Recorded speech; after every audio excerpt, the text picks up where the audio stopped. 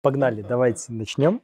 А, да, я начал историю по поводу Agile Days. То есть у нас есть проект, называется Agile Days Ретроспектива, где мы собираемся с докладчиками прошлых лет на нашей конференции и с ними смотрим их старые доклады.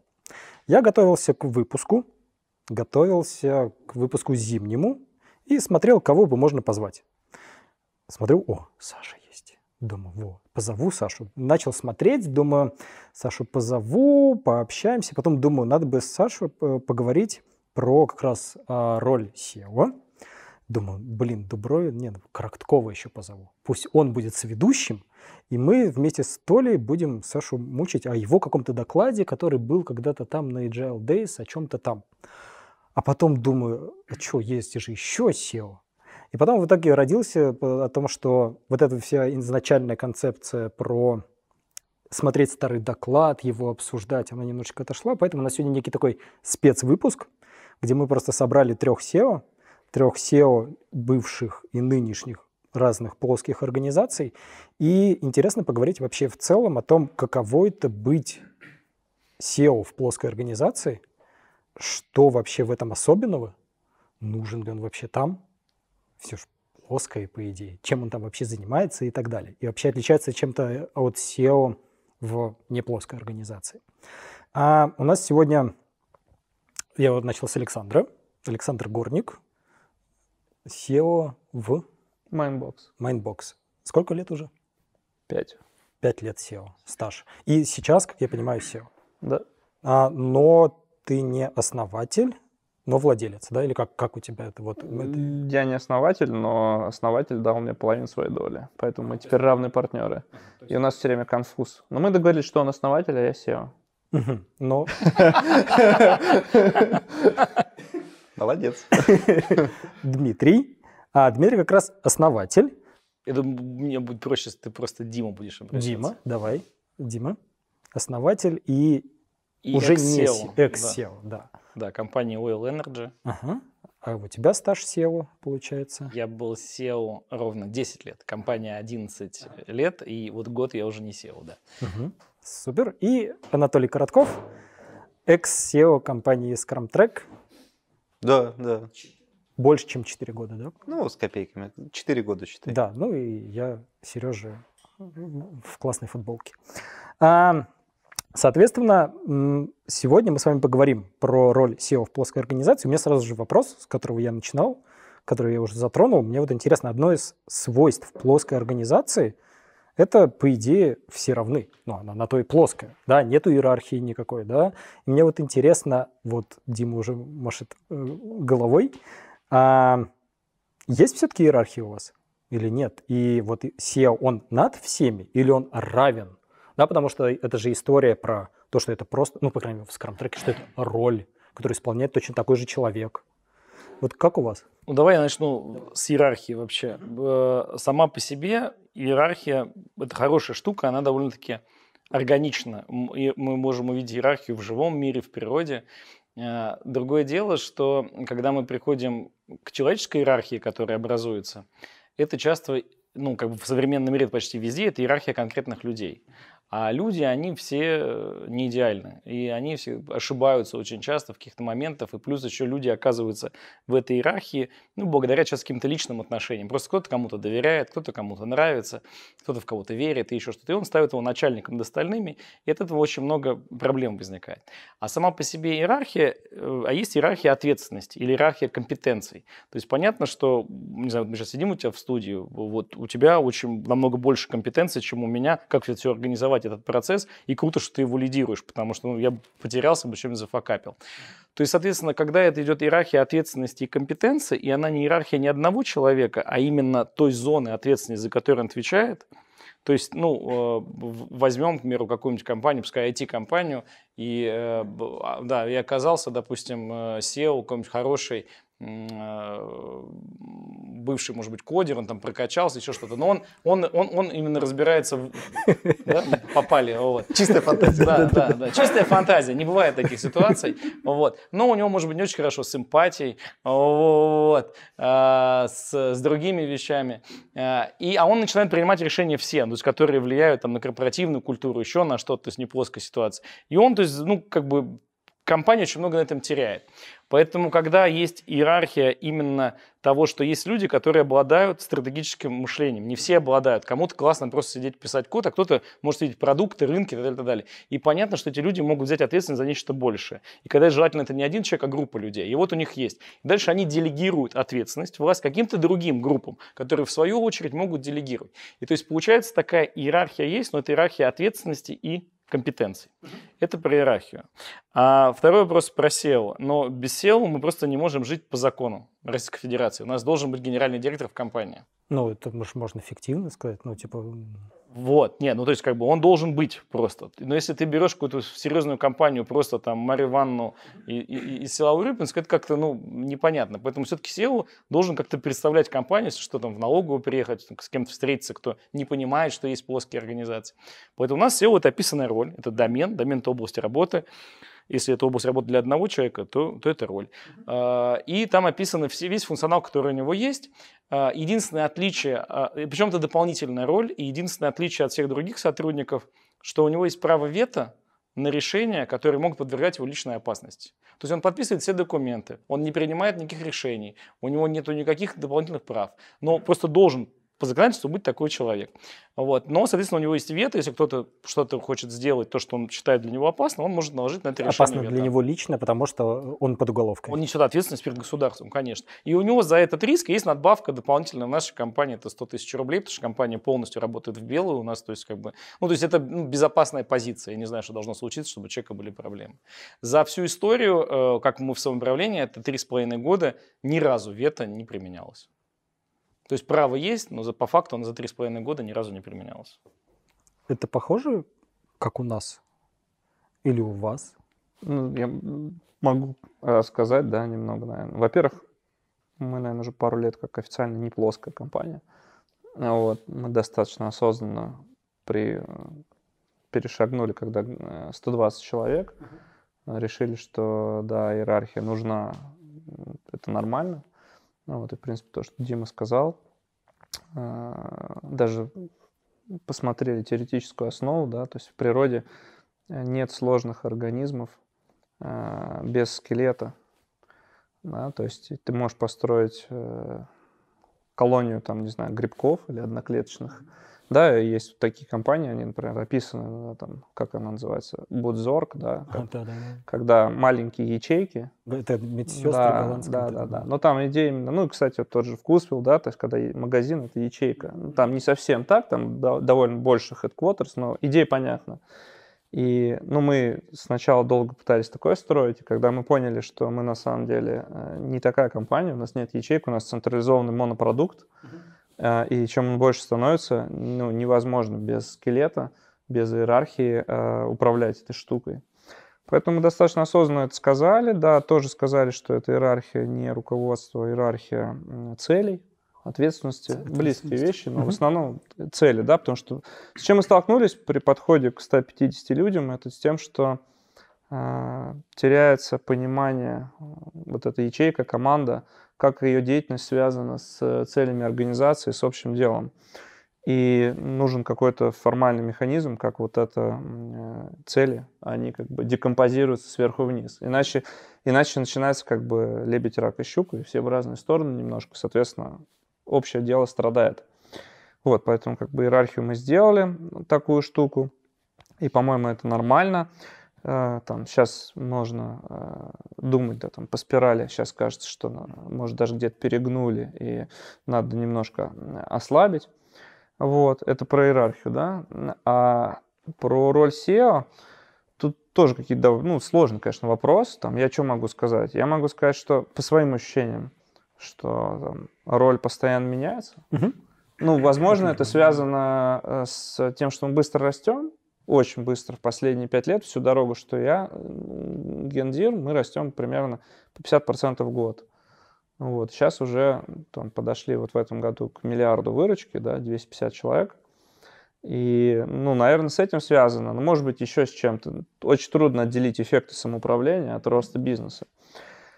Вот, но там есть какие-то вещи, наверное, ну, неизменные, я бы сказал, это формальная часть. И я бы, ну, не то, что вот отношения с государством, для меня это отношения с акционерами. Потому что у нас, в отличие от многих других там плоских компаний, у нас э, нет одного контролирующего акционера. У нас несколько крупных миноритариев. Сейчас мы привлекли э, крупный инвестиционный фонд, Беринг была сделка. И, ну, есть э, совет директоров, да, он э, совершенно обычный, не бирюзовый. Вот, есть определенные цели. А, и там я ощущаю, что роль там SEO у нас это такой коннектор uh-huh. между миром, который работает по культуре, и, соответственно, миром внешним, который более рыночный, более бизнесовый. Вот. А в остальном это больше лидерская роль. Я ощущаю, что там решения, которые я принимаю, то, в чем я участвую, там каждый год меняется радикально. С точки зрения принятия решений у нас никогда такого не было. То есть у нас же формально действует правило, что любой может принять любое решение, и у любого есть право вето. И мы довольно давно уже договорились, что если вето эскалируется, эскалируется, то оно эскалируется не через меня и не мной заканчивается. То есть у нас есть э, совет, не знаю, не, про, не совет управляющих, не знаю, круг, внутренний такой борт, да, там из 5-6 человек. И мы договорились, что если никак не можем договориться, то вот финальное слово за ним, не за мной. В этом смысле у меня нет какой-то особой роли в принятии решений. А, но пока не было ни разу, чтобы дошло до этого круга. А, то есть это очень какая-то редкая ситуация. Но теоретически Э, мы это декларировали. А в остальном, ну, я просто один из лидеров, хотя, понятно, видимо, обладающий максимальным авторитетом.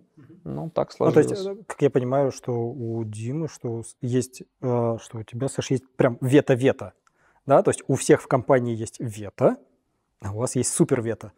Нет, у нас нету в компании у всех вето. У нас единственный человек, у которого есть вето, и, и это не я у меня нету вето. Вот. Это генеральный директор, а, потому что он несет ответственность перед государством. Ну, то есть, если кто-то по своей... У нас еще... Видишь, тут очень всегда важно смотреть на бизнес. Вот у, у Саши действительно у них там один монопродукт, на который работает там сейчас 250 человек. У нас в компании 100 человек, оборот полтора миллиарда рублей. Вот. А, но у нас это декомпозировано на 5 разных подразделений, которые делают разные продукты. У них пересекаются клиенты, вот, но как бы в основном даже клиенты разные. Uh-huh. А, поэтому все зависит от того, какая у вас организация. У нас вет только у одного человека, у генерального директора, у всех остальных нет. А то, ну, а подожди, а как же вот эта вот история про, про advice процессы, что все могут принимать любые решения, но все равно Это такая, знаешь, э, очень... Э, то есть мы всегда можем смотреть под разным масштабом, ага. ну, то есть на организацию. И когда мы говорим advice процесс, все могут принимать любые решения. Возможно, кстати, у вас, у вас так работает в скрам-треке, но у вас там 45 человек. И в целом в это еще более-менее нормально. Но и когда мы посмотрим, есть две таких полярности. Результативность и равноценность.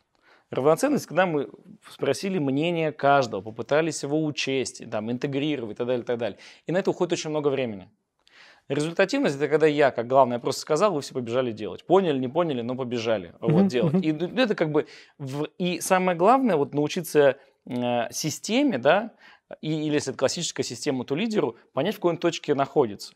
Потому что у одних постоянно все побежали, в любой ситуации, в критической, не в критической. А, ну, среди э, там, корпораций, наверное, такого нету. А есть такие более зеленые организации, где нет, давайте мы все еще раз обсудим вообще, да, там нам, нам на гвозди или на, или на клей, да, табличку на дверь вешать. Вот. А, а, поэтому вот всегда нужно для организации искать тот баланс, когда это работает. Когда у вас уже 100 человек, и вы находитесь в разных локациях, проводить какой-то адвайс процесс или там на всех по какому-то поводу, нет. В Сократе очень четко определяет, что решение принимают те, на кого это макс... uh-huh. влияет. А максимально это влияет часто не на такую большую группу людей, либо, если влияет на много, они делегируют кого-то, там, пять количество людей, ну, желательно там не больше семи, которые могут принять это решение ну, уже в спокойной обстановке. Поэтому у нас нету такого, то есть advice процесс может быть внутри вот этого небольшого круга подразделения, которое до 7 человек у нас в компании обычно. А, вот. Угу. Это интересно, вот просто я слышу уже не раз, все очень сильно такое ощущение, что упирается в масштаб. Это интересно, Толь, если бы Track был, ну, вот такие же, как мы сейчас, но было бы нас 70 человек. Можно и тут метафору, как это, встряну со, своей, со своим взглядом на иерархию. Вот это вот скелет, все дела. А у нас есть такая история, не знаю, она в консалтинге, и где-то компании пытаются в этом ковыряться, называется XO компании, а, типа экспоненциальной организации. И там есть такая метафора, что, условно говоря, у тебя есть главная core-функция, и она должна быть внутри. А все потроха, всякие там, если не является главной core-функцией, вот это вот студия, маркетинг и так далее, это все должно быть на внешних подрядчиках, которых ты привлекаешь, причем у тебя они откопированы так, что, ну, грубо говоря, а, если вдруг что-то с одним случится, ты можешь другого взять. Вот. И нас в скрам-треке далеко не 45, нас там максимум человек 8, это весь скрам-трек. Вот. И мы, я вот уволился, все, теперь не в скрам Я думаю, сейчас человек 30 удивилась просто. Это все приглашенные аутсорсеры. Это партнеры и так далее. Вот. А, и в этом магия. Вот. И компании в 8 человек, когда ты SEO 8 человек управлять, ну, элементарно. Если бы нас было в 10 раз больше, а, но как бы я не думаю, что у нас внутри было бы в 10 раз больше. Потому что core-функция Scrum Track — это, по сути, core-функция бренда. Тебе, чтобы управлять брендом, ну, не надо тысячи человек. Ну, по крайней мере, брендом в России. Я, по крайней мере, я, я не могу представить, что тысяча человек будет управлять брендом в России, который уже развит, который уже имеет некую воронку, которая сыпется и так далее. Вот, поэтому э, довольно такая, ну, у меня свой взгляд на иерархию. Мне нравится строить вот такого рода модели, э, когда у тебя, грубо говоря, по сути, команда или команды несколько как бы коровских, все остальное это у тебя внешний сервис, у тебя просто эти команды умеют э, маршрутизировать, менеджерить эти сервисы. Это первая часть про иерархию, ну, типа, вообще с другой стороны взгляд, как мы строились последние годы. А по поводу SEO, тут, видимо, действительно у всех по-разному. У нас это была антикризисная роль. Ну, просто, типа, я помню прям тот день, когда мы сидим в баре, э, там такой грустный. Совещание нас... какое-то шло, да? А, причем мы тогда все в штате были, то есть там все было внутри, как бы это... Вот внутри у нас как бы все как-то работало, но все а, казалось, что ты летишь на самолете, который сейчас упадет.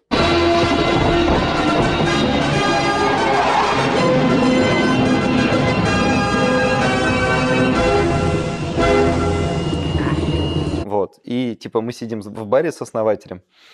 И такие, надо что-то делать. Он такой, надо что-то делать. Блин, кажется, нам не хватает гендиректора. У нас не было гендиректора. Ну, точнее, он был формальный, собственно, он и был гендиректор, да. Но, типа, не хватает, э, типа, как, какого-то человека, который прям будет исполнять эту роль. Асхат был как бы номинальным гендиректором тогда, но он э, делал минимум то, что нужно, как Документы бумажки подписывал да. и так далее, да. да но как бы эм, системно не занимался развитием. Ну, что-то не хотелось в то время ему, не помню даже причины, почему конкретно вот, ну, не тянуло именно его это делать. Мы такие сидим, нужен человек, который будет этим заниматься. Окей. Этот человек будет делать, отвечать за рост выручки, отвечать за рост прибыли, отвечать за счастье сотрудников. Окей, человек будет менять э, схему, модель компании, чтобы компания могла бесконечно расти и так далее. То есть сидим, обсуждаем, господи, кто же это мог бы сделать? Ну, в плане, что что это за роль могла бы быть. И вот, по сути, описали роль SEO. Ну, типа, чем должен заниматься SEO. А роль в тот момент получилась антикризисной, потому что у нас была проблема, у нас как бизнес э, был такой мясорубкой, то есть приходили а, молодые ребята с сильным потенциалом, три года их а, через Scrum пропускали, они там учились консалтить, учились тренинги читать и так далее. Потом они сильно уставали, и уходили на рынок свободными агентами, там куда-нибудь устраивались и так далее. И э, в среднее время вот этого вот партнера было там 3-4 года, среднее время какого-то консультанта в скантреке. И это была вот, ну, э, момент, мы такие, так, надо мясорубку э, как-то стратегически поменять, и вот всем вот этим вот заняться. И вот эта роль будет этим заниматься. Вот такая антикризисная роль. Тупо придумали роль. Вроде как все выглядело логично. А потом оказалось, что он бумажки подписывает, что он всех хороводить должен. В том смысле, что это там, ну, типа, люди, партнеры, вот эти все аутсорсеры, которые у тебя, это типа всех дружить надо. Они же все должны, типа, счастливые быть вокруг тебя. И, короче, надо, чтобы э, не просто, как ты сказал и сделал, а надо как бы, чтобы это было как-то по-научному. Там даже был момент у нас, года через два, наверное, когда я, а, когда, собственно, я стал SEO. Меня в первый раз не, не избирали, просто мы что-то подумали, а кто может быть? Да вроде все заняты, значит, ты будешь. Вот это как-то так выглядело. Ну, реально. Типа, мы выбирали самое меньшее зол. Я прям помню, типа, определение, потому что у нас много... Компания была тогда много альфа-самцов. Типа там, этот с этим ссорится, так, этот вообще какой-то, э, типа, в плохом настроении сейчас в этот год. Возможно, что-нибудь он там, ну, что-нибудь случится. У этого трагедия произошла, этот еще что-нибудь такое. Ладно, будешь ты, потому что все остальные, ну, типа, как-то не в форме сейчас. А, то есть это просто был такой забавный момент. И а, когда вот это всякие бумажки и так далее, ты такой, так, надо всех дрючить. Логично же. В плоской компании.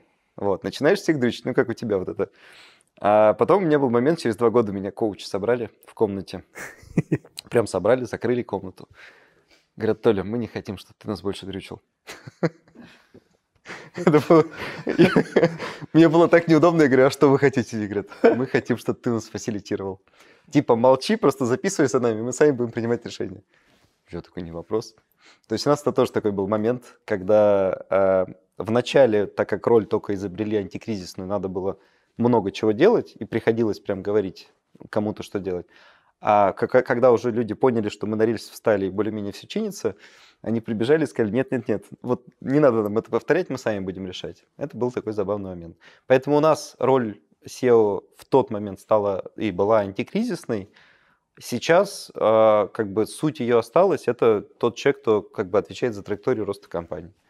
Вот. А как он это исполняет, это сама компания, за счет того, что мы плоские, сама компания будет регулировать. И по поводу вот этого вот номинальной оплаты, я тоже думал, типа, как это правильно сделать. Мы вот недавно сделали процесс выборов, и я понял, что самое грамотное, если, ну, приходит э, какой-то кандидат на роль SEO, он предлагает некую, э, как бы, свою стратегию, он говорит, я буду вот по такой траектории компанию вести, то, по идее, он может попросить любую сумму. Ну, он, он говорит, из вот за эту сумму. и дальше мы типа голосуем. У нас вот так вот процесс выглядит. Вот. Поэтому а, мне хочется думать, что так это, ну, что так возможно, что есть некая такая голосовалка за стратегию и э, человечек, который отвечает за эту траекторию роста. И мне как бы кажется, что вот доступна вот эта история с условно без хребта, а с минимальной командой, а все остальное у тебя по требованию. Ну, грубо говоря в нашем бизнесе. Понятно, что не в каждом бизнесе, но вот у нас так повезло или не повезло, у нас вот такой бизнес. Его так можно строить. Интересно. Саша, смотри, SEO – это же роль, и по идее в компании могут, ну, по правилам роли любой исполнять. Да? А Пожалуй. у вас как? Ну, желающих нет пока. Нет? Ну, пока нет. Я бы на самом деле рад был, если бы кто-то ну, пока кажется, что и я не очень соответствую ожиданиям от роли. Ну, то есть компания растет быстрее людей, uh-huh. вот, поэтому пока мы здесь. Вот. Но какие-то вещи из того, что вот говорили, я, например, забываю, как у нас устроен, вы говорите, вот, например, подписывает. Вот, я почти ничего не подписываю. Давно уже. Я могу не приезжать в офис неделями. Uh-huh. Это как-то у меня вошло в норму, я забыл, я понял, что так не всегда бывает, но а, поэтому у нас, ну, как бы, роль не, не очень понятна, то есть в основном я сейчас чем занимаюсь? Культурой занимаюсь, там, HR, вот, отношения с акционерами. Ну, да, то, что Толя сказал, что ответственность за прибыль, выручку, как бы конечный пендель, но вот это, как бы, по сути, есть акционерная история. Ну, что желаешь? Акционерный или, или генерального директора? Ну, имеется в виду, что это интересы акционеров, а генеральный директор, он как бы естественным образом бордом назначен для того, чтобы выполнять эти цели. Это как-то вот, ну, так вот оно и приезжает, да, что вот Пиндель это как бы моя, моя ответственность. Ну, то есть у вас, ты пока не задумывался о какой-то вот то, да я постоянно задумываюсь. Постоянно выборах. задумываюсь. Как бы сбежать? Это постоянно мысль, которая все время со мной. Я, кстати, ему сейчас так неудобно. Мы-то с Димой на расслабоне. Я поэтому, Саша, и спрашиваю. Ну, то есть, у меня, у, меня, у меня же как бы другая немножко история. То есть, во-первых, я же не предприниматель, да, я программист. Я пришел и, типа, просто у меня была тоже какая-то такая наивная очень цель, да, что похожа чем-то история. Э, то есть у меня было в резюме написано 27 лет, что я хочу, чтобы мой доход соответствовал вкладу, который я вношу в компанию. Потому что я в предыдущих компаниях видел, что я очень много делаю, но от этого мой доход не меняется абсолютно никак. А вот. И я хотел, в принципе, такую компанию построить. Вот. А дальше как-то все начало, естественно, разваливаться, и надо было спасать. Я как-то вот старался спасать. А партнер взял мне выдал долю. Сначала там не очень большую, а потом очень большую, и потом уже как бы бросать жалко. То есть потом, когда уже идет вот эти кризисы, что ты хочешь все бросить, а как бы ну, уже такая доля не хочется. Ну а сейчас, сейчас уже как-то смирился. То есть я на самом деле не очень не люблю руководить. То есть это прям меня, мне не нравится то, чем, ну как бы не то, чем я занимаюсь, ожидания не нравятся. То есть я пытаюсь не, да, не быть генеральным директором, будучи генеральным директором, наверное, вот так можно сказать. И как-то в этом суть, как бы поэтому, наверное, мы, типа, вот это вот вся самоуправление, да, я не могу сказать, что мы бирюзовые, да, как правильно говорят, практики вот эти используем, потому что это все для чего? Для того, чтобы не руководить, не управлять людьми максимально. Потому что, ну, вообще штука не очень приятная, честно говоря. Вот этот процесс. Вот. И еще какая-то была у меня мысль, пока Дима говорил, что и Толя. Вот по моему, я тоже очень много там без менеджмента, вот доклад был на Agile Days, как ну, классно, без менеджера, вот. Все ломается, как и написано в западных книжках, на числе Донбара. 150. Да, то есть это, это реально работающая штука. Там, вот эта вся история самоуправления, там можно любые конфигурации практически делать до тех пор, пока все как бы в племени, в семье. Вот когда все знают, как друг друга зовут, в принципе, работает все, что угодно, потому что, ну, понятно. То есть, если люди нормальные, подобранные, то работает все, что угодно. А вот когда число Донбара, вот я прям четко почувствовал, и культура начинает резко деградировать, потому что, ну, а что это, кто все эти люди? То есть ты заходишь, ты этого не знаешь, этого не знаешь. Атмосфера меняется сразу. И это отмечают все. А некоторые особо чувствительные старички начинают уходить. И от этого как бы процесс еще становится самоподдерживающим. И дальше вот этот вопрос очень большой. Как сделать так, чтобы это, где люди друг друга не очень знают, и в принципе просто пришли работу работать, чтобы оно как-то само работало. Ну, я не могу сказать, что у меня есть ответ на этот вопрос, вот, но это я к тому, что вот роль сильно меняется. И ощущения, конечно, совсем другие. То есть вызов последние два года просто огромный. Ну, то есть... Можно я порекламирую? А я потом добавлю. Просто ну, народ же нас слушает. А, Саша говорит, что никого нет на роль. А, ребята, быть SEO очень классно. Не, я как, как тот человек, который ушел буквально вот пару дней. А, как? Если у вас, ну, типа, есть какие-то крутые компетенции, не знаю, по стратегии, по тому, как у вас мозг устроен, что вы там, не знаю, видите какие-то, умеете делать зум-аут, видите большие части, умеете их раскладывать, чинить операционку, управлять людьми. Если вы как бы к этому, а, душа к этому лежит, обалденная роль, после этой роли можно чем угодно заниматься. Вот, поэтому очень круто, очень круто растит эта роль. Я да, просто со своей стороны много. добавлю. Может быть, тебе это поможет. И я, может, как негатива нагнал. Не, личностный рост офигенный, я полностью согласен. То есть это опыт как бы как написано в этой известной книжке Hard Think About Hard Things, да, что очень круто, но только один раз. Но второй раз не хочется. В тюрьму не вернусь. Не, ну тебя в этом смысле классно привязали, типа дали тебе долю и все. Ну, это классика. Ну, это же просто классика, ребят. Ну, если ты не можешь, э, как по-другому говорится, купить человека, вот, и дальше он будет делать. Но я бы тут добавил следующее, что есть еще Третий вариант, если ты обладаешь вот стратегией, еще чем-то, но не хочешь идти в эту историю, как раз плоские организации это позволяет, потому что я не являюсь директором, я вхожу у нас в так называемый стратегический круг, где у нас э, 6 человек, они все выборны, то есть их выбирает компания, не выбирают ни разом, у нас причем каждые два месяца меняется один член, что, чтобы, чтобы не, не терялась мудрость. И то есть человек, и нельзя выбираться два раза подряд. То есть если ты вышел, у тебя два месяца по-любому будет перерыв. Ну, потому что в следующий раз только через два месяца выборы. Вот. Два раза подряд нельзя, но через два месяца тебя могут опять номинировать.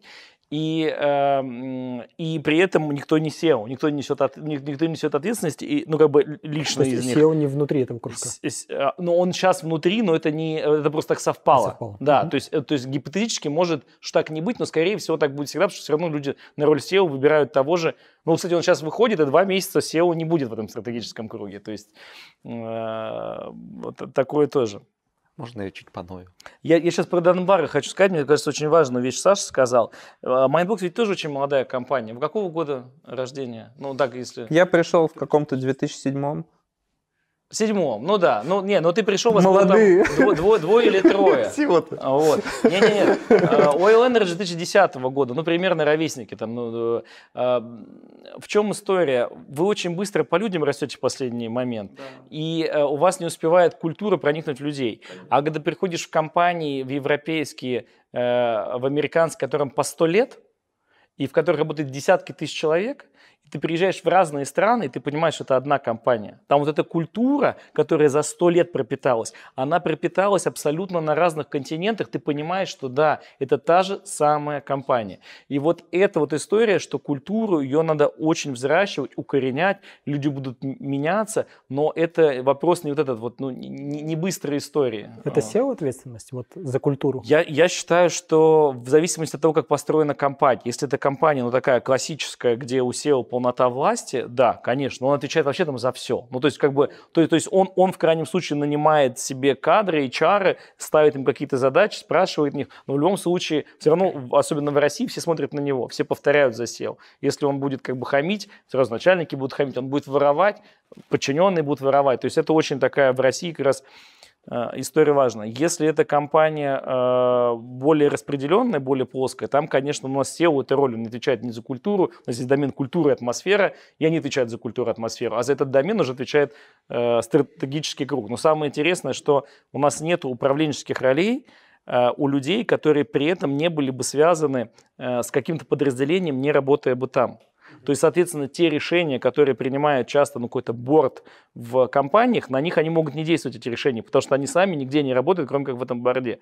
У нас, когда люди принимают решения, они очень осознанные, потому что на этих же людей они тут же повлияет в их бизнесах, где они трудятся. То ли хотел поныть. Да, я хотел понять. Сейчас по- пошучу сначала про число Донбара. А, Число Донбара это про альфа-самца и сплетни, и оно взламывается только одним религией. Ну, это и есть культура, которая Да, типа да, может опоясывать миллионы людей. Вот. И в принципе может быть в теории без скелета, по крайней мере в моей голове. Но надо проверить. Согласен. А, теперь поныть по поводу страт-кружка. Вот прям поною, поною. А, как бы, почему рекламировал так роль SEO и почему я не верю в страт-кружки? У нас есть. А, есть опыт. А, мы, смотрите, давайте это шаг назад. Мы на Agile ретроспективе, ну вот у нас вот эта тусовка называется, правильно? А, значит, можно сказать, что мы Agile коучи, в смысле я Agile коуч. У нас есть... А у меня майка. а, он не Agile коуч, он его, его переодели, чтобы выглядел хорошо. А, у нас есть очень понятная задача, ну, с точки зрения сути вообще такой роли, да. А Вот у компании есть траектория, а мы помогаем а, на лету подстраивать процессы, чтобы компания по этой траектории как бы максимально эффективно двигалась. А, то есть там что-то где-то структуры пересобрать, где-то технологии, где-то команды, где-то людей замотивировать, и чтобы вот этот рост продолжался. А, и у нас, как у компетенции, есть выход на уровень бизнеса. Мы можем помочь прям вот не просто где-то внизу каком-нибудь потрохах продукта э, процессы менять, а вот прям на уровне всей компании, всей структуры помогать. И есть э, прям, ну, факты и примеры, когда agile-коучи э, пытаются влезть на этот уровень, страт-кружок, пытаются помочь, а, но допускают серьезные ошибки на старте. Ну, типа такие просчеты, не видят рисков и так далее. И потом их начинают бить по рукам, а они даже не понимают, в чем проблема. А почему? Потому что они не проживали вот этот вот мелочный геморрой, простите, который как бы тебе доступен в роли SEO. Ну, там вот прям мелочи. Ну, не знаю, вот случился у вас ковид, как у вас это было? У нас это было так, что я всех обзванивал один на один в течение нескольких дней и обсуждал, как бы, ну, у нас прям работа встала на два месяца. У вас Серьезно? деньги не текут два месяца, да. А, ну потому что именно вас Да. клиенты затронули. У нас, да, у нас есть финансовая Бизнес подушка, и я как бы всем обзваниваю, говорю, ребята, какое-то время зарплату немножко мы подрежем, если все восстановится, вернем. Ну, сорян, ну а как- о чем мы можем сделать? Вот. А, И как бы ты сидишь на телефоне, обзваниваешь. Вот, вот из таких мелочей состоит, по сути, такая типа операционная работа. И когда я как консультант без такого опыта прихожу в компанию, предлагаю какие-то идеи, а, как бы, ну, я не понимаю, э, когда мне нет этого опыта, я не понимаю, какой геморрой они потом получат с моими советами. Ну да. Вот. И вот, вот эта история про страт-кружки, когда меня спрашивают на тренинге, типа, Толь, а как мне прокачаться в этом бизнесовом мышлении, как мне, типа, быть эффективным на этом уровне? Я говорю, ну иди открой бизнес или иди стань SEO. Да. Самая, самая как бы полезная история. Ты за год-два как бы все тебе то, что нужно, все ты получишь, и потом спокойнее работай на этом уровне, потому что не так много времени надо. Нет, Толя, я с тобой полностью не согласен. Ты привел пример, когда ты рассказываешь про то, что ты приходишь извне в какую-то компанию и начинаешь им советовать, как им жить. Я скажу, да, это не работает. Так. Но если вы у себя бы здесь сделали бы свой страт-кружок, допустим, куда бы вошел бы ты, Дубровин, я не знаю, там, Баранов, еще кто-то, ну, кому люди доверяют. Возможно, качество решений, которое принято, невозможно, точно, качество решений было бы лучше. Оно бы учило разные интересы, и ответственность за них лежала, лежала бы на всех. Вы здесь находитесь в бизнесе. Дальше самое главное, это вот эта история про результативность и равноценность. А, В основном, почему не происходит ну, вот эти истории с более плоскими системами? Есть какой-то SEO э, или там предприниматель, собственник бизнеса. Он 100% намного более прокачаннее, чем люди там. Сто процентов. Но я не знаю ни одного идеального человека, который бы не делал ошибочных, мнений, ну, ошибочных решений. И люди часто сливают в акционеры колоссальное количество денег из работающих прибыльных бизнесов, какие-то новые сумасшедшие проекты, которые ни с кем не обсуждают, потому что у них на это есть власть. Я, собственно, пошел к плоской структуре, после того, как я за год 70 миллионов слил просто в никуда. И я понял, что если просто посоветовался бы элементарно с людьми, с кем я работал, это было бы по-другому. А сейчас как история происходит? То есть у нас есть стратегический круг, куда вхожу я. Есть еще 5-6 человек.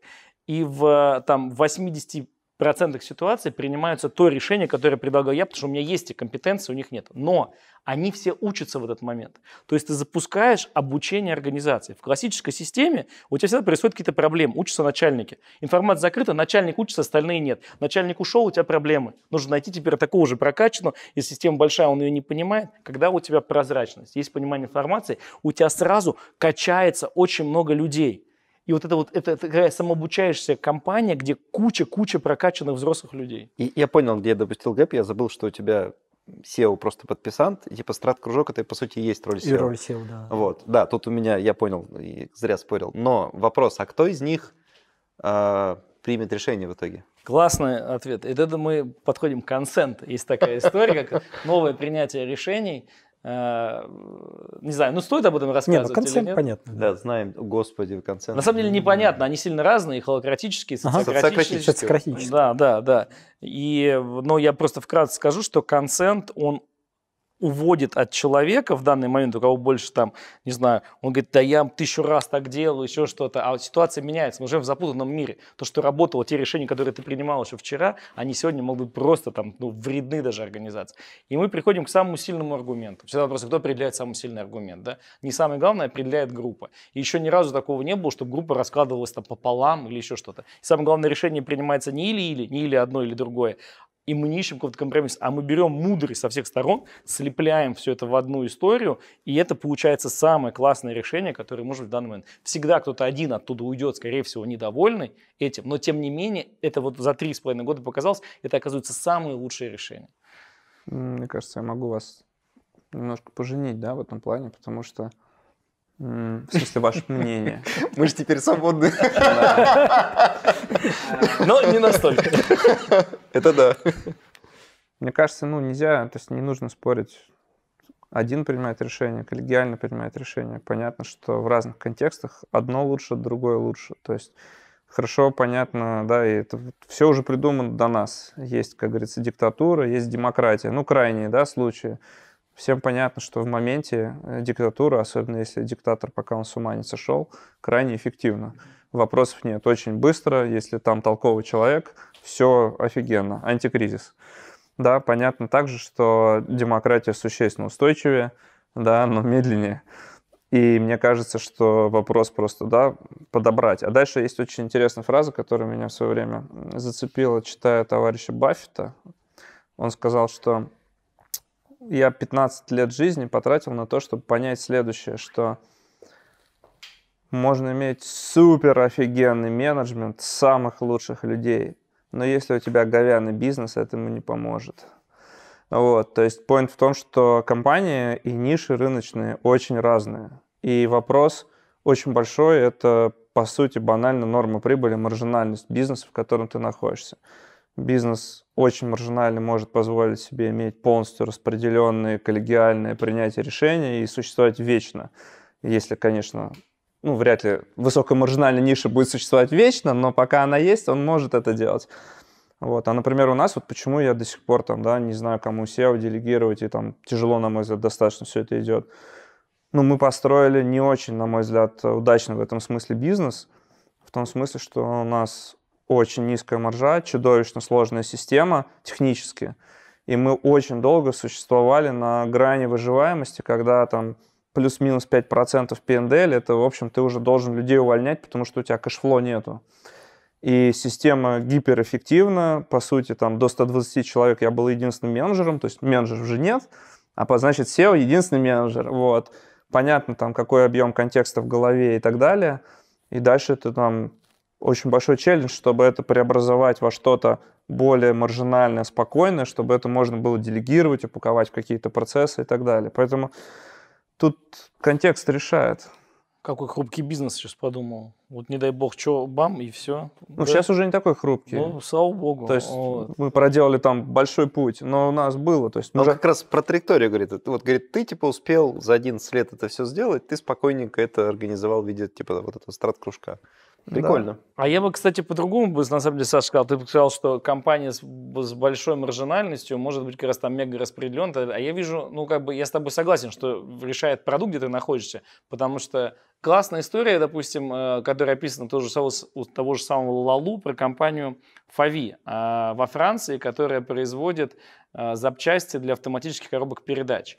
И это единственная компания в Европе, во всей Европе, выжившая в этом сегменте, потому что полностью Но. все ушло в Китай в конце 80-х, в начале 90-х. А они, благодаря того, что у них э, один уровень иерархии, они выжили. Ну, потому что вот Валерий Разгулявович глаз своей книги, кстати, кто не прочитал, обязательно прочитайте, «Бирюзовое управление на практике опыта российских компаний», раскладывает, собственно, вот эту пирамидку иерархическую, вот, и сколько у них, э, какая они отличаются, почему они выигрывают, в том числе конкуренцию у других крупных игроков, и прям, ну, то есть они уже там по онлайн-заказам обошли, по-моему, X5 Retail Group, ну, то есть, чтобы, ну, чтобы понимать. Вот. У них, э, они, у них система управления намного меньше э, ест денег и намного более быстрая за счет того, что у них всего там 3 или 4 уровня иерархии на 20 тысяч человек. Да. Это прям прикольно. Два уровня иерархии. Нет, 4. У них 4 уровня иерархии на 20 тысяч человек. У них не два. Шпаги, там есть шпаги. Да. Можно выдать. Дуэль. Были на одной конференции с Димой, общались с одним Валерой, но у Димы 4, а у меня 2. Ну, я просто, Сложности. я просто общаюсь не только с Валерой. Валера может думать, что 2, но на самом деле 4. Все сложно в бирюзовых компаниях. У меня к вам есть вопрос, друзья. Я понял, какой вопрос мне интересно обсудить. Можно я побуду соведущим буквально Я еще могу идти уже скоро. Эм, Все равно не SEO, да? Самоуправление. Самоуправление. Ну, это скоро будет, мне кажется а, хитрая история. Вот мы как бы плоские компании построили в какой-то момент, давайте так говорить. И, ну, я помню первоначальный триггер, и он с вами полностью совпадает. Типа, хочется построить компанию мечты. Ну, а почему нет, ты думаешь, господи, что, несложно же. Вот. И в какой-то момент ты ее строишь. Ну, она реально, типа, компания мечты. А потом что-то меняется. Уходишь там, не знаю, в бизнес, в операционку, да кто куда. Может, кто-то дальше вот эту вот компанию мечты строит, но уже на большем количестве людей, но там начинает какая-то вот эта вот... Короче, тебя постоянно колбасит, ну, когда народ растет. В итоге получается, что э, как бы ну, нет этого состояния, что вот я построил, и вот она компания мечты, и все здорово. У нас, например, с Комтеке а, там другая ситуация была. Ты вроде как построил, а компанию надо сильно растить. Ну, там, в 2-3 раза. Вот прямо сейчас. И ты такой, блин, ну, мне так не хочется. Я вот, например, Построил поэтому, же уже. Да, я вот, например, поэтому ушел, потому что, ну, кто-то следующий должен. Вот следующий, как бы, ступеньку, пусть он строит. Потом, видимо, когда-нибудь ему надоест, он следующую mm-hmm. отдаст ступеньку строить. Вот. И вопрос-то какой, а почему, как вы думаете, вот так получается, что ты вроде приходишь строить э, культуру и какую-то компанию мечты, а в какой-то момент тебе это надоедает, и ты как-то себя в другом чем-то находишь. Ну, счастья-то нет. М? Потому что счастья нет. Ну, я имею в виду что, что э, это же процесс. Ну, типа, мы всю жизнь до самой смерти ищем себя. И дело же не в том, что там компания меняется или что-то, мы меняемся. И ум меняется, и как бы ты все время, каждый год спрашиваешься, а, что я теперь сегодня хочу? Ну, это нормально, все меняется, все исчезает. То есть что ты сделал, идешь дальше. Вот от- от- я, я все-таки встряну, Так, простите, тихо, прости, Дим, я все-таки встряну. Но а, почему точка одна, типа вот это стартовое, что ты хочешь построить компанию мечты? Ответ может быть, типа, действительно таким философским. Но почему точка одна у нас получилась? Что мы, типа, все втроем решили построить какую-то компанию, в которой нам будет классно работать. Это ж а это не эффект выжившего, но в том смысле, что у других людей, у которых не генеральный директор, у них какая-то другая точка. Мы бы их сюда не позвали просто. Да, Они бы здесь не оказались. нет, да, но, но, ну да, действительно, фаундеры бизнеса там или гендиры, или менеджеры, там все об этом пишут, у них там, ну, понятные мотивации, да, там достаточно ограниченный перечень этих мотиваций. Например, в том же Валера пишет правильно, что у меня тоже такая была мысль. Сейчас я сделаю систему, которая, значит, сама работает. Идеально, ну, тут понятная такая наивная программистская мечта. Ну, вот я сейчас закодирую, и оно, значит, организация из людей будет работать. Ну, как бы понятно, да, вот эти идеи. Это примерно, как мне кажется, вечный двигатель, да, то есть оно же приходит из поколения в поколение. Хочу создать вечный двигатель. Ну, потом ты это проживаешь, понимаешь, как это, как-то это меняется. Дальше начинается жизнь. Да, ну, то есть вот мы здесь. Ну, я с тобой не соглашусь, это работает. Но в мире есть компании, которым 500 лет уже. Не, ну они есть, которым 500 лет, и они живут, они существуют. Ну, то есть, как бы, ну, э, компании, которым 200 там, лет, их просто уже немерено. Их там сотнями можно насчитать. Тысячами даже, наверное. Вот. Компании, которые по 200 лет, их действительно много. Вот. И, э, то есть, они пережили уже далеко не одного там SEO, да, там, ну, а, обоснователей. Ну, кстати, помнят, кстати, везде обоснователей, что, что удивительно. Э, Поэтому точка-то может быть одна, а там дальше на пути очень много нюансов. Я компанию воспринимаю как определенный живой организм. И э, отношение, ну такое, наверное, хорошее, как э, к ребенку. И очень многие люди пытаются за счет ребенка реализовать свои какие-то несбывшиеся э, амбиции, еще что-то. А Многие люди пытаются своими взрослыми детьми, уже довольно-таки взрослыми, руководить и так далее, и так далее. А я его дорастил, я передал ему определенный опыт и знания, и я понимаю, что дальше его жизнь. То есть он может уже действовать сам. Я ожидаю, что я полностью выйду вообще из, из стратегического круга в течение ближайших там трех-четырех, край четырех лет. Вот. И она будет существовать э, сама без меня. И таких компаний, ну, как бы много, которые существуют без вот этого собственника, да, который есть. Там компания Цейс, ей 137 лет, она принадлежит сама себе, компания Bosch и так А, далее. у так вас далее. же, да, у вас же коллективный, вы же перешли на коллективное Мы владение. должны да? закончить юридически, то есть де, де, де-факто все это уже давно понимают, я объявил об этом в 2018 году, юридически мы должны закончить вот ну, в течение ближайших пару месяцев, э, потому что это впервые будет такой э, случай в России, э, что компания принадлежит не сотрудникам, не кому-то, она принадлежит сама себе. То есть пока ты работаешь в компании, ты являешься членом, ты ее управляешь и имеешь возможности, когда ты в ней уже не работаешь, ты не имеешь на нее никаких прав больше. Ну, Если что, кстати, я с этим не спорил. То есть, действительно, есть компании, которые могут долго существовать. Мне кажется, мы с Толей говорили чуть-чуть о другом. У меня, кстати, Дим, к тебе вопрос. Ты говоришь, компания как ребенка. А дети должны быть жить вечно? А он, он же будет меняться, понимаешь? Там, та- там, там такой, там уже она будет наполняться теми людьми, ну какие-то изначальные ценности, как вот ну, в семье же очень важно, что ну, в детстве заложили в человека, оно же в нем прорастает, да, тяжело вот это то, что в детстве заложили, как-то вообще из него потом изменить. Поэтому они, скорее всего, будут в той или иной степени продолжаться. Если она, конечно, закуклится вот в, в том ценностном уровне, в котором есть, она не выживет. Ну, как, ну, потому что она должна меняться в соответствии с изменяющимся миром, что-то впитывать, что-то откидывать, что-то новое добавлять. Я к тому, что у меня метафора родилась новая, что мы как предприниматели можем создавать э, бесконечное воспоминание о себе. Ну, то есть компания переживет нас еще и Да, несколько поколений. да, да. Еще одна да. такая стандартная мотивация, да, для предпринимательская. Мгм. Сделать что-то, что останется после моей смерти. Мгм, мгм. Это же очень обидно, допустим, было, когда Натура Сибирика, да, по сути, ну, там, Мгм. закончилась со смертью основателя. Очень крутой бренд, который там... Почему закончилось? Ну, она сейчас, да, сейчас, то есть, ну, было все очень сложно. Там еще в августе, когда я за этим следил, сейчас, сейчас не знаю. С точки зрения маркетинга даже оживились. М. Это наш клиент. Интересно, ну, вот сейчас это довольно такой, довольно частый разговор и вопрос, для всех ли плоская компания? Вот можно как-то вот коротко на это ответить? Она же не, явно не для всех. Не для всех. Для кого? Для людей, которые готовы брать на себя ответственность.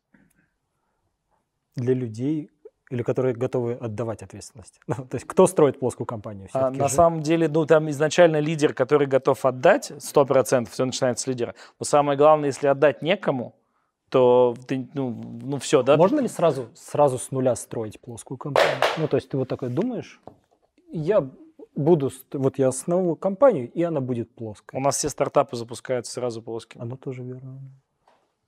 Вообще стартапы, они в основном все плоские изначально. Это потом, когда они начинают разрастаться, нач- нет, там есть какой-то основатель, или группа, у которых есть связь с идеей, но в целом там нет какой-то иерархии, там решения очень быстро обсуждаются, даются очень быстрая обратная связь. Там в чем проблема вообще? Организационная структура, я поразился, когда я об этом узнал, у нее, хотя это очень логично, у нее всего одна цель. И это не контроль, как ни странно. Это обеспечить оптимальный поток информации для создания максимальной ценности. Потому что компании платят за ценность, все остальное потери. И, соответственно, нужно обеспечить оптимальный поток информации, чтобы люди были, с одной стороны, не перегружены, с другой стороны, получили всю нужную, чтобы максимально создать ценность. Когда у тебя сидят в одной кабинете человек, кто видит продукт и все понимает, и рядом люди, там, кто пишет код или, там, не знаю, там, закупает, там, что-то проектирует, все быстро. Дальше пам-пам-пам от этого человека мы нарастили там 7-8 уровней иерархии, испорченный телефон по дороге и не работает. Поэтому делаем ее более плоско и, да- и даем людям автономию, даже не, не то, что вы должны быть такие добрые, там, человеколюбивые, а просто потому, что это бизнесовее, более логично. Но другое дело, что там уже возникает паттерн власти, а как это они примут какое-то решение, а вдруг они на этом деньги потеряют, да? В итоге решения принимаются медленнее, люди теряют больше денег, вот, то есть э, там теряется здравый смысл вот на всей этой истории. Человек в футболке загорел как agile коуч. Нет, просто это, это интересно Я получается. считаю себя пост-аджайл коучем. Да. Звучит страшно. Звучит страшно, но я не верю в леса и сейфы. А вот История про плоские... Я, кстати, нормально? Вы как называете? Это плоские организации или бирюзовые? Ну, просто я почему-то вот слово бирюза вообще избегаю. Правильно. И мне кажется, и плоских надо избегать. Вообще надо ярлыков избегать. А, а как тогда называть? Компании, применяющие, например, бирюзовые техники управления, можно так сказать, можно сказать, применяющие там, не знаю что. Ну, э, самоуправление, когда мы говорим про самоуправление, это всегда степень. В любой компании есть самоуправление. Весь вопрос ее степени. Как минимум есть самоуправление у владельца или генерального директора. Дальше это управление, оно начинает падать вместе, кстати, с счастьем людей туда вниз. О, Вот. И э, степень самоуправления в компании может повышаться. Собственно, любое наше действие управленческое в компании либо повышает степень самоуправления, либо ее снижает. Э, мы сейчас как раз с Валерой разгуляем, занимаемся тем, что мы пытаемся более-менее классифицировать эту систему, описать ее через конкретные походы. Когда мы говорим бирюзовые, там же не только самоуправление, самоуправление только одна часть из бирюзы, а еще там эволюционная цель, которая должна быть как бы серьезная, может, они там, не, не, не, они, рынок сигарет вырос в два раза, вот, Э, и э, м, целостность, э, которая самая, наверное, такая ключевая и, сложная история вот, из всего. Я вот думал, как ответить на этот вопрос. Давай вопросом отвечу, попробую. Вот скажи, спорт он для всех? Нет. Спасибо. Хорошо, фасилитатор может помолчать и получить ответы из аудитории. Ну, я имею в виду, что ну, вот все-таки градиенты, да. То есть мне кажется, что там, с одной стороны можно сказать, что спорт какой-то доле, наверное, полезен абсолютно полезен. всем. Да? Вопрос там, ну кому-то он очень только в маленькой доле показан, да, в связи со состоянием здоровья. Ну и то же самое со всеми этими методами управления. То есть если у тебя там супер идеальная какая-то в пределе супер плоская организация, то да, в ней могут работать там только достаточно целостные, самостоятельные люди, да, ну а дальше у тебя есть вот этот слайдер, и в общем и целом в средней плоской организации вполне себе работают э, средние люди, ну то есть мне кажется, тут нет такого. То есть не Это нужно... в целом зрелость чего? Поколения, человечества. Конкретного человека. Ну, Что произойдет что-то, ну, изменится что-то через сто лет. Сто процентов. Что? Ну, то есть, смотри, э, буквально 170 лет тому... Нет, подожди, сейчас буквально 170 лет тому назад это было абсолютно нормально, если бы мы сейчас сидели бы тут с Сашей, и он мне бы рассказывал, что он прикупил деревеньку с 300 Вот. душами, а я бы рассказывал, что у меня на плантации завезли новых рабов, да, сахарный тростник. Мы бы с ним five o'clock tea, и все было бы отлично. Вот. А, но сейчас как бы кажется дичь, да, почему? Люди сами по себе взрослее, ну, и вы, еще берете у него уроки agile или нет? Так, мы это вырежем. Он вас научит. Ну, у меня ресторан. И Валерий тоже позвоним, скажи, рабов вывози. Ну да. А, э, э, Люди, люди меняются, люди сами по себе взрослеют. Ну, то есть сейчас, особенно с развитием технологий, человек очень сильно прокачивается. А как раз менеджер, который раньше, условно говоря, все знал, с таким количеством потоком информации он просто не успевает. И люди вокруг него, команды, потому что их просто больше, они суммарно знают больше, чем он один. Это я все понимаю.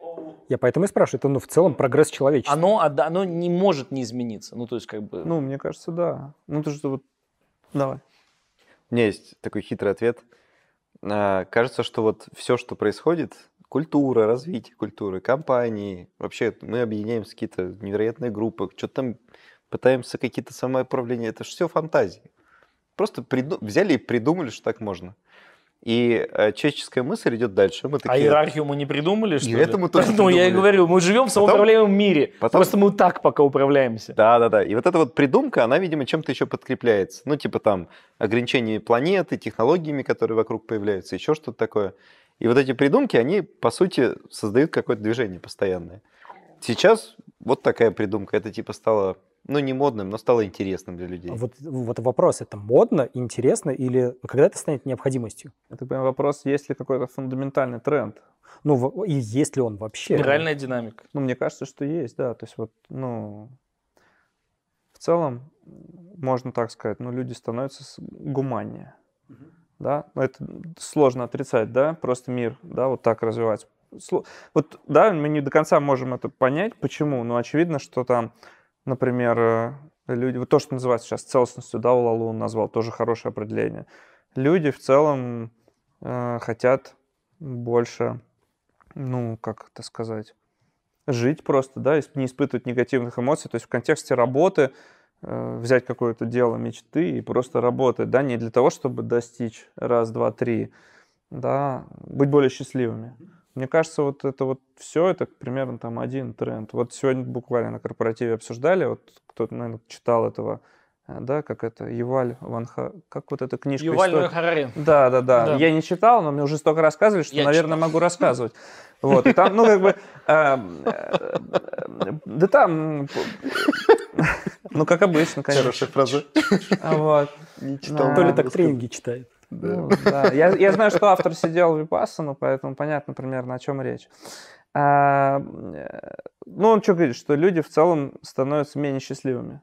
Ну, типа, все более... э, мы как бы вроде производительность тура растет, все вот это придумали, придумали, а э, счастья все меньше. И вот там рождаемость падает. То есть по сравнению с тем, как э, собиратели ягодок там 70 тысяч лет назад вполне комфортно по 3 часа в день работали и не тужили, мы сейчас как белка, да, есть ну, явный тренд, который говорит, нет, ребят, хватит, надо как-то по-другому, да, то есть деньги не главное, там вот эти вот все поколения, как сейчас говорят, какие они там, Z, Y, я уже по- запутался, по-моему, да, уже там, альфа. Альфа уже есть, Да, да, да. ну, то есть они как бы какие-то другие, да, их не мотивируют вот эти все штуки с достигаторством, но вот этот тренд, то есть я не могу его сформулировать, я не социолог, да, но он какой-то такой ощущаемый вполне себе, да, что люди хотят работать не ради каких-то того, что раньше было в корпорациях, ради карьеры, цели, денег, а ради того, чтобы э, просто, ну вот, какой-то, извините за клише, импакт, влияние на мир, может быть, позитивно оказать, самореализоваться.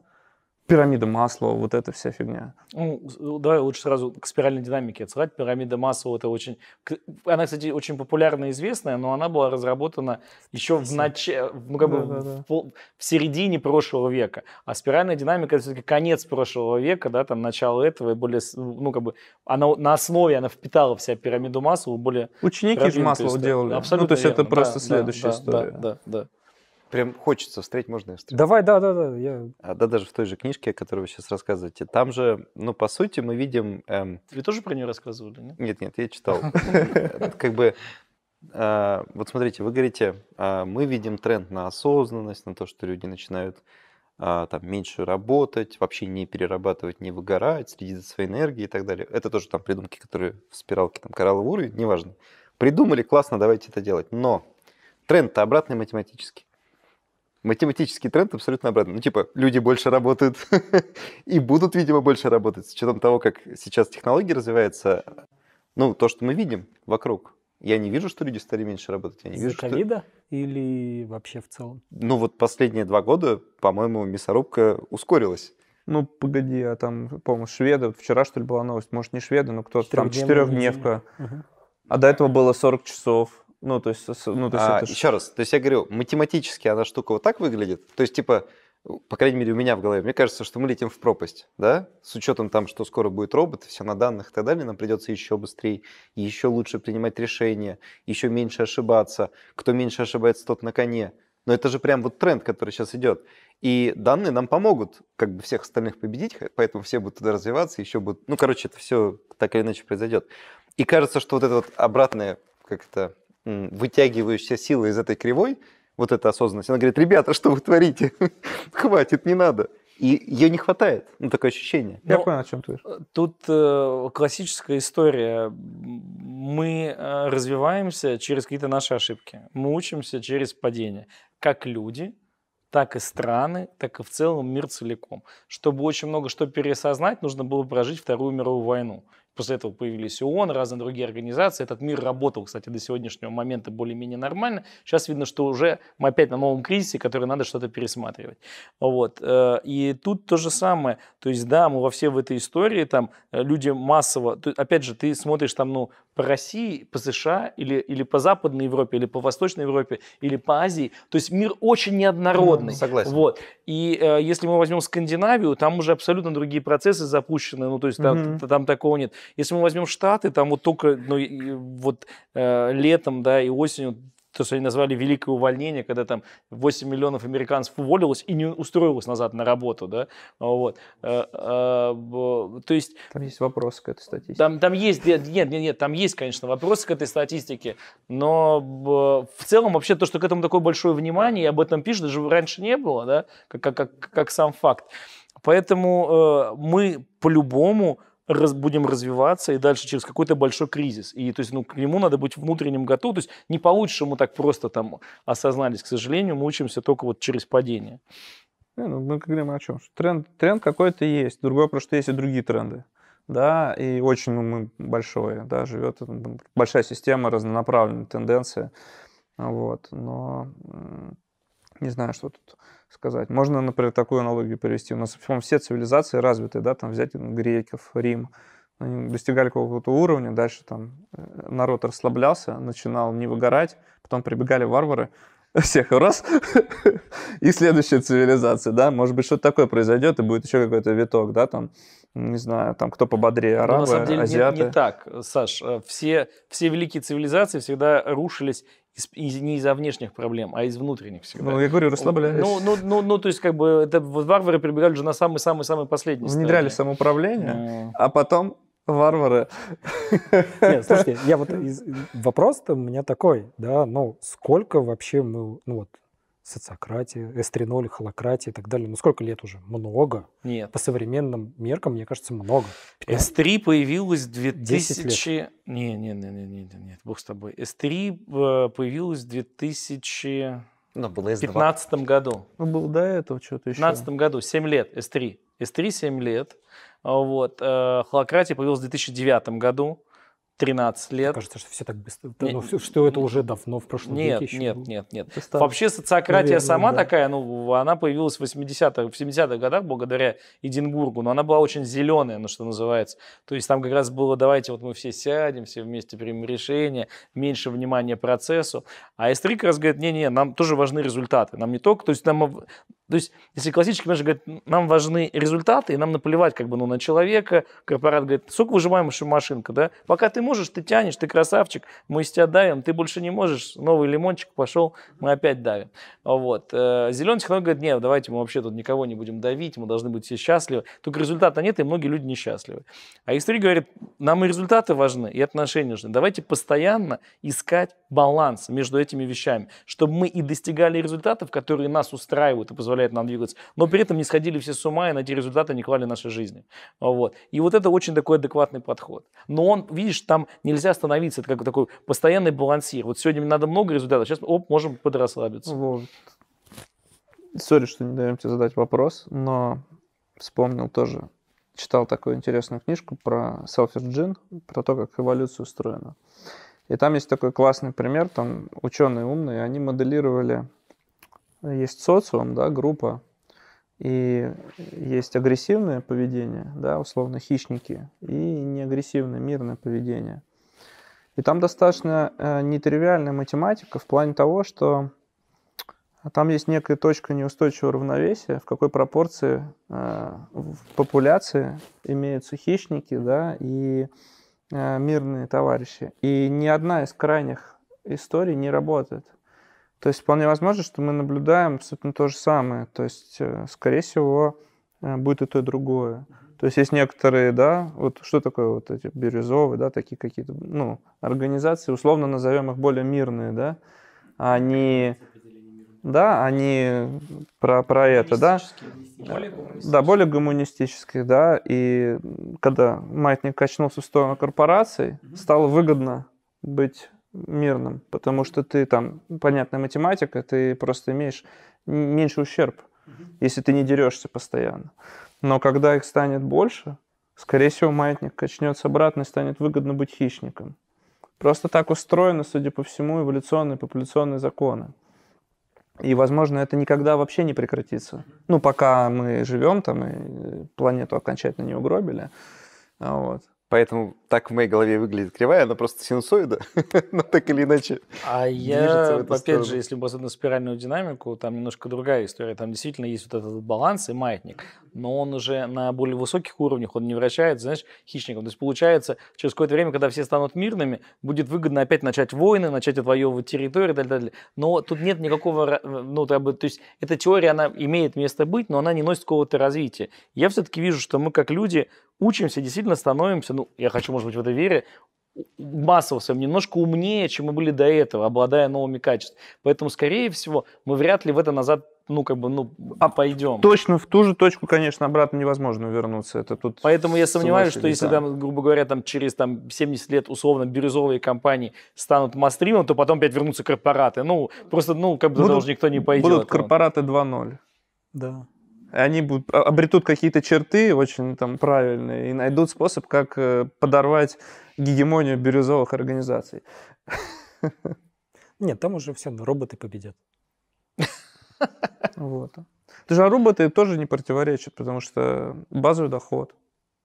Ты говоришь, данные, роботы. Ну, то есть всех, всем раздадут денег. В конце концов, случится социалистическая революция, раздадут всем денег, и все Не. будут окончательно бирюзовые. Роботы сделают две истории. Первая история э, начнется с нового достигаторства. Тот, кто роботы, с роботами дружит, тот, ну, как бы умнее, быстрее, сильнее. Ну, и типа, это первая тема.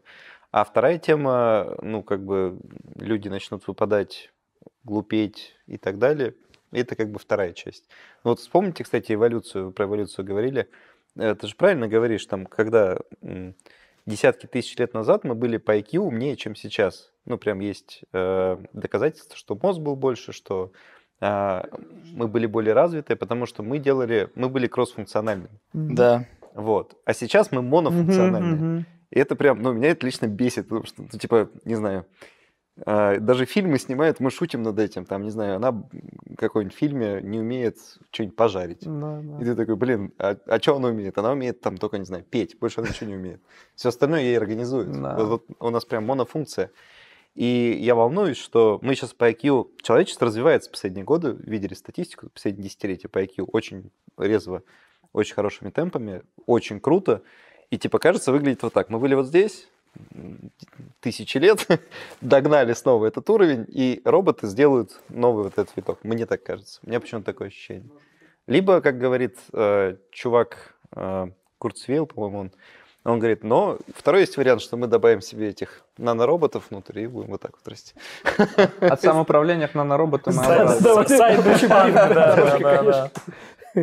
Ну, типа, он по теории говорит, что мы кратно умнее можем стать за счет роботов внутри нас. Но Да мы можем кратно умнее стать за счет наших внутренних ресурсов, если развиваться как люди, пробовать еще, потому что у нас есть тот ресурс, который мы часто не используем, а наоборот губим, уткнувшись 24 на 7 в экран. Это еще у Стругацких было, да? Пятая сигнальная система. Да, там кто читал? Если Читал, есть такие да. древние Да. э, динозавры.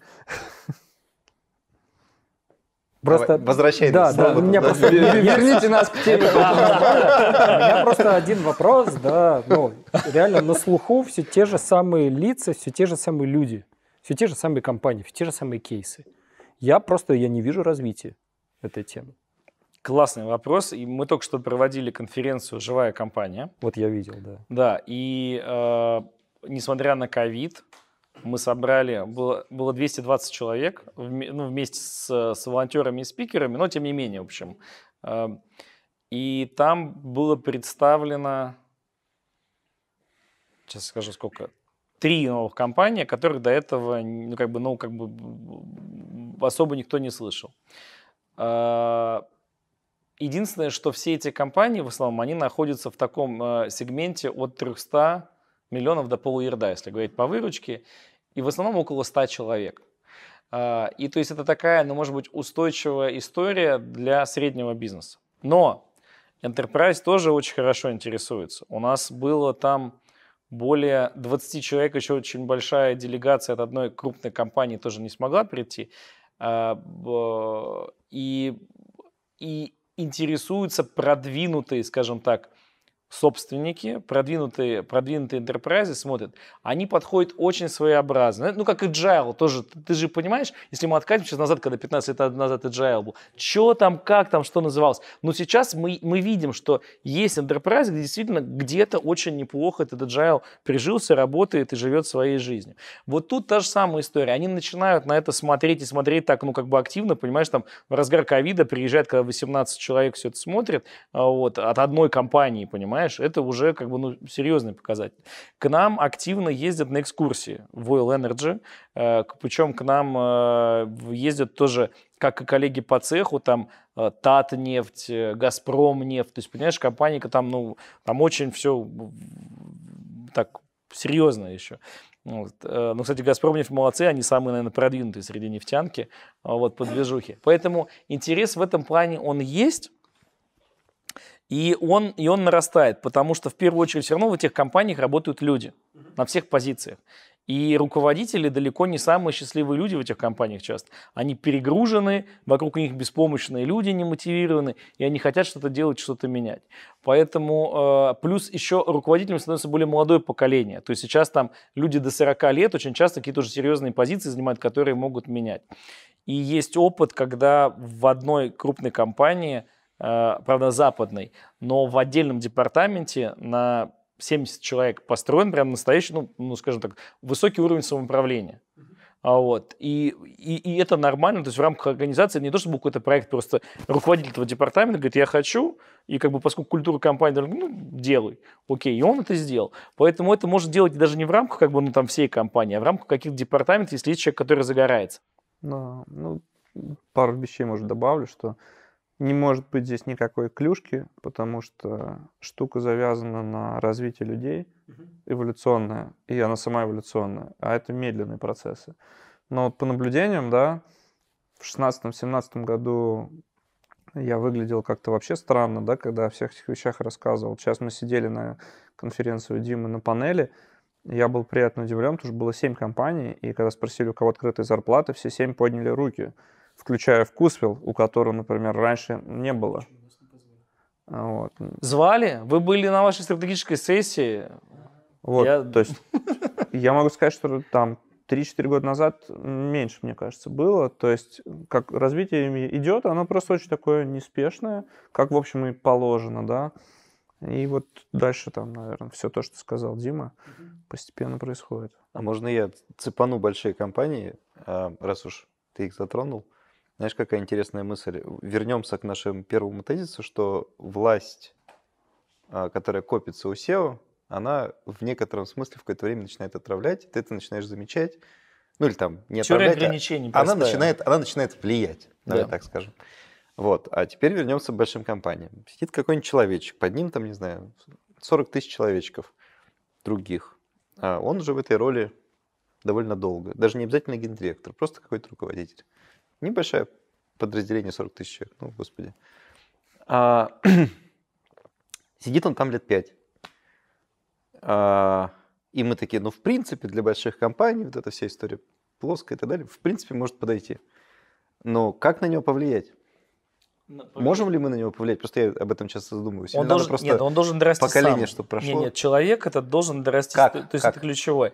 А, в, вот давай так, я не верю, что завтра смогут поменяться, ну, э, люди, ну, скажем так, массовые единицы, может быть, смогут, которые уже перевалили там за 40. э, Просто да, как, как можно так вот меня прокоучить или там как бы, не знаю, про, про- пропсихотерапевтировать, э, чтобы я вот решил в этом состоянии поменяться? Давай вот что должно произойти? Есть, с одной стороны, максимум, что мы вообще ни на кого не можем повлиять. Мы только своим вниманием управляем.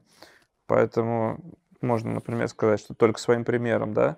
Но если все-таки спускаться на землю, то, ну как, методология простая, да, то есть что у него болит, и если мы можем показать ему, что его проблема реальная решается какими-то такими штуками. Есть очень важно, мне кажется, не пытаться внедрять э, самоуправление бирюзу как проект. Вот это то, что точно не работает. Да, есть набор практик определенных, да, исхо- исходящий из определенных ценностей. Вот надо посмотреть, чего этого человека. У него что-то должно болеть. Если 40 тысяч человек, и они что-то делают, что-то должно болеть.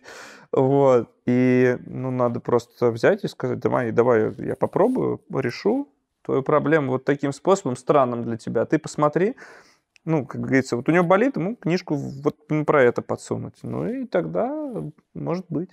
Если ничего не болит, никак не повлияешь. Ну там Не, не, такой да даже уровень, болит, ну там подожди. такой уровень власти, что это все незаметно. Да ну. нет, там люди живут с этими болями же все. Ну, как бы, ну, люди, люди умирают от рака, ничего не меняют, Да. у них болит, Да, а они да, все равно да, ничего не меняют. Курит и продолжает, я курил, И- и- пьет, и в этом продолжает. случае ничего сделать нельзя. Ничего нельзя сделать. Так он то же самое. У него, может быть, и болит. Он говорит, а что ты хочешь сказать, что они сами решения будут принимать?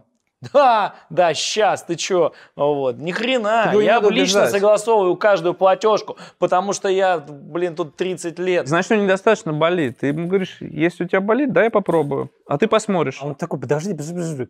Ну, я же до стула-то добрался. Значит, я могу. Да. Значит, все хорошо. Ну, тогда ты говоришь, я ничем помочь не могу, и Я- идешь к следующему. Да, но я не согласен про недостаточно болит. То есть я знаю людей, которые предпочтут умереть, и таких Да, большинство, да, нежели да. чем что-то поменять в своей С- жизни. ну, и- Вот, поэтому, но все-таки приходит на лечить. молодежь. То есть надо на молодежь и на тех, кто готов. Кстати, знаешь, к нам приезжают люди, я поражаюсь, люди приезжают, им, э, ну, то есть они, они, ну, мои ровесники чуть постарше, им за 40, и они приезжают с горящими глазами, говорят, они из жестких иерархий, они говорят, я вот у себя сам вообще вот так вот примерно и построил, так и вижу. Где бы мне сейчас найти бы власти, чтобы все это узаконить или систему? То есть люди есть, которые изначально так, ну, так строят, и причем и компании, и в... Я никогда не забуду интервью, смотрел с... э, Он генеральный директор по-моему, Сберстрахование, ну, какая- какая-то серьезная контора, может быть, не, не Сберстрахование, бы- бывший. И он рассказывает, просто мне такое чувство, что я себя слушаю. Вот как, то есть, но, но в иерархии. Он говорит, генеральный директор, у него должно быть простое место, не надо этих дорогих кресел, всех новых сотрудников обязательно в первую неделю на чай,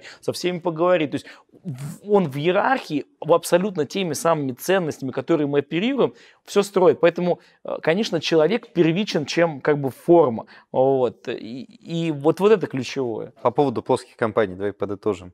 А, смотрите, а не кажется ли вам, ну, мне, по крайней мере, так кажется, и всегда казалось, как и Agile, все остальное, что это просто инструмент, который нужен компании в определенный момент времени ее жизни. Он может быть даже нужен большой компании где-то в каких-то подразделениях для каких-то людей. Но это просто инструмент, который вот, ну, здесь сейчас помогает снизить затраты, повысить скорость решений, повысить качество этих решений и так далее, и так далее, и так далее. А как бы и он нужен, вот как у нас Agile, в условиях неопределенности, в условиях каких-нибудь там, не знаю... Давай, а, говоришь, третий домен Кеневина. Ну, Ну, да, что, да, что- да, чтобы, да. чтобы было понятно. Чтобы показать, Да. что мы тут как Да, не да, просто мы не просто так собрались. и, и майку мне дали Да, да, не да. просто так. А я был лично на тренинге.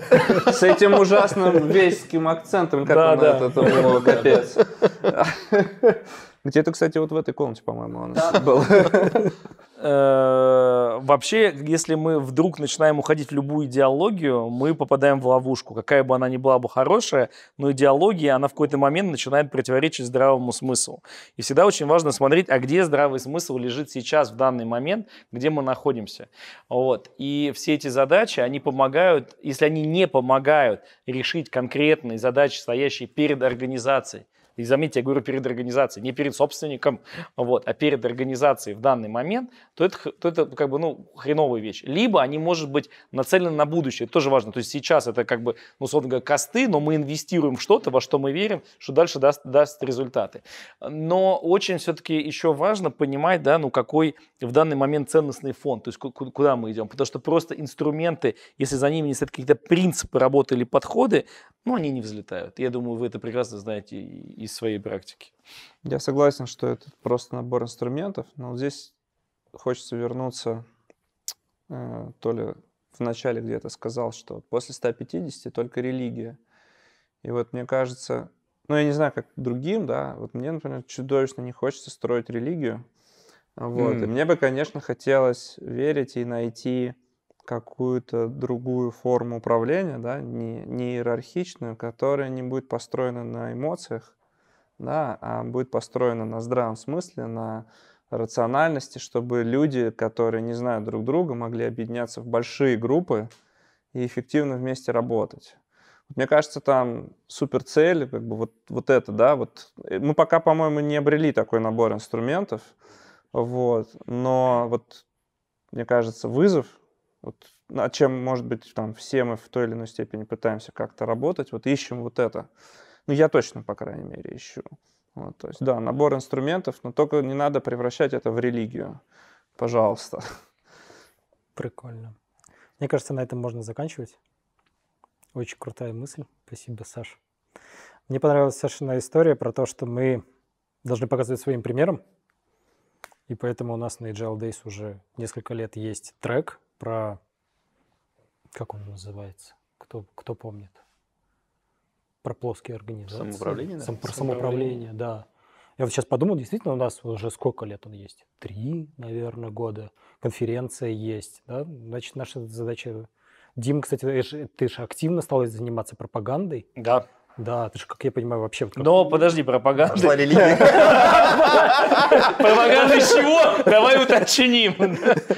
Да, но это не религия, да. Нет, я сейчас, кстати, если я раньше говорил какие-то вещи, что прям, ну, надо по-другому подходить именно из каких-то более высоких ценностей. А я сейчас говорю, нет, друзья, давайте прям решать конкретные задачи вашего бизнеса инструментами самоуправления. И, конечно, вам нужно будет чем-то там пожертвовать, но э, мы гарантируем, что результат превзойдет ваши ожидания. Да, да. И так что ждем вас на Agile Days, на нашем треке про самоуправление. У нас там будет основатель социократии, основатель холократии, основатель S3.0 точнее. Вот, так что будет классно и круто. И наши ребята с нашими кейсами, послушаем, чего там напридумывали, послушаем какие-то опыт классных и крутых ребят. Ну все, давайте тогда прощаться. Спасибо. Спасибо. Было очень круто. Мне прям интересно было. Я не жалею, что я сюда попал и вас позвал. Самоуправляйтесь. Супер.